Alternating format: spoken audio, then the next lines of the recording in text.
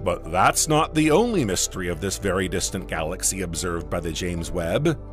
Spectroscopic observations have shown the presence of oxygen in the light of this mysterious galaxy, a complex element that normally only appears after multiple generations of stars, with the fusion of lighter elements such as hydrogen and helium. An astonishing discovery based on our models according to which there was no oxygen or any other heavy element in the matter of the primordial universe.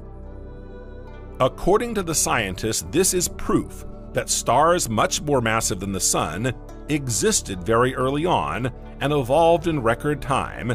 enough to manufacture the first heavy chemical elements in their nuclear cores, then release them into space before this galaxy was formed.